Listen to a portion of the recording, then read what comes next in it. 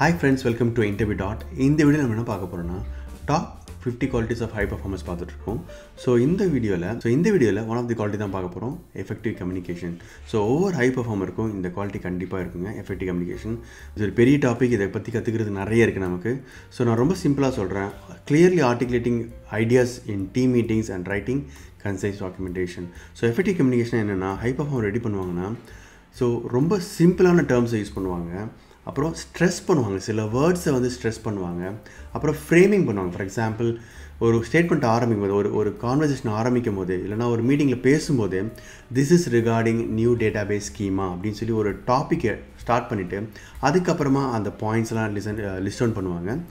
List out பண்ண பிறகு கடைசியாக வந்து ஒரு கன்க்ளூஷன் கொண்டு வருவாங்க. So this is regarding new database schema அதுக்கப்புறம் உள்ள அதுக்கப்புறம் சில பாயிண்ட்ஸ் ரைட் பண்ணுவாங்க. அதுக்கப்புறம் பார்த்தீங்கன்னா கன்க்ளூஷன் ஆக்ஷன் ஐட்டம்லாம் எழுதுவாங்க சரிங்களா? ஸோ இதை வந்து ஒரு கன்சைஸ் டாக்குமெண்டேஷன் இல்லைனா ஒரு ஃப்ரேமிங் சொல்லுவாங்க. ஸ்டெப் பை ஸ்டெப்பாக புரிய வைக்கணும். அதுக்கப்புறம் listening is also an effective communication ஏன்னா நம்ம லிசன் பண்ணோம் பிகர் பிக்சர் பார்த்து நம்ம எம்பத்தி வச்சு மற்றவங்க என்ன யோசிக்கிறாங்க மற்ற மற்றவங்க என்ன சொல்ல வராங்கன்றதை புரிஞ்சுட்டு அதுக்கப்புறம் நம்ம பேச ஆரம்பிக்கணும் சரிங்களா? So effective communication is one of the quality for high performance உங்களுக்கு இந்த இன்ஃபர்மேஷன் யூஸ்ஃபுல்லாக இருக்கும்னு நினைக்கிறேன். Thank you so much for your support and all the best for your career thank you